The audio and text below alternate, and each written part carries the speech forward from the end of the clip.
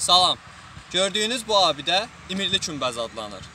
Bərdə şəhər İmirli kəndinin köhnə qəbristanlıq adlanan ərazisində yerləşir. Bu kəndin sakinləri 1948-1953-cü illərdə Qərbi Azərbaycanın Dərələyəz və Göyçə malından köçürülənlərdir. Bu səbəbdən abidənin nə vaxt yaradılması haqqında dəqiq məlumat yoxdur. İlkin ehtimallara görə abidə 14-15-ci əsrlərdə inşa edilmişdir.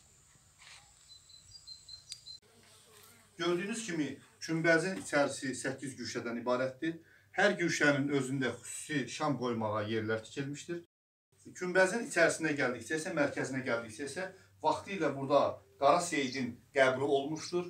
Hansısa naqislər, naqis adamlar buradan qızıl axtarmaq məqsədi ilə qəbri dağıtmışlar və yenidən qəbri bərpa etmək mümkün olmamışdır.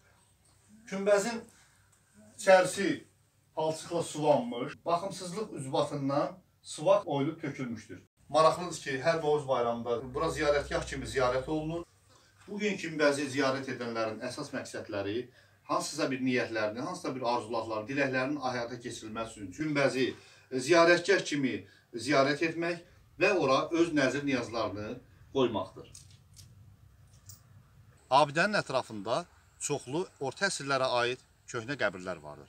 Qəbirlərin üzərindəki yazılar ərəb əlifbasındadır oxuna biləcək vəziyyətdədir. Ərazinin tədqiqata ehtiyacı vardır. İmirli'dəki bu abidə qədimi abidədir. Mən eşitdiyimə görə, deyilənlərə görə Qara Seyid olur orada. Bunun e, qapısı var idi, pəncərəsi var idi, qədri var idi, baş daşısı var idi. Müəyyən səbəblərə görə onu indi yox ediblər. Qapını təzədən gətirib qoyublar. Biz 49-cu ildə bura gələndə burada heç bir kənd yox idi. Xaraba bir yer idi, meşə idi. Baxdıq, gördük ki, orada bir kümbəz var. Dedilər ki, bu ocaqdır. Qara Seyidin ocağıdır. Bizim kətdən olan Rüstəmov Lətif adlı bir kişi soyuq olduğuna görə qış fəsli idi. Gedib onun qapısını çıxardıb gətirib öz qapısına salmışdı.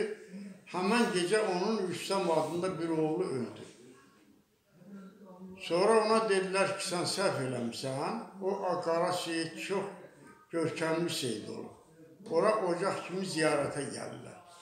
Təzdən onun qapısını apardı, saldı ora. Onun sonra həyat yoldaşı da məhv oldu. Uzun müddət onun evladı olmadı. Bir-iki dəfə evləndi, evladı olmadı. Yəni bu sınanmış bir ocaqdır. Qarabağ tarixi Azərbaycan torpağıdır və Aran Qarabağdakı belə abidələrin tədqiq edilməsi Azərbaycanın informasiya müharibəsində qələbəsi üçün vacibdir. Tariximizə sahib çıxmalıyıq və onu qorumalıyıq. Qloballaşan dövrdə bunu bizdən Azərbaycanın milli mənafeyi tələb edir.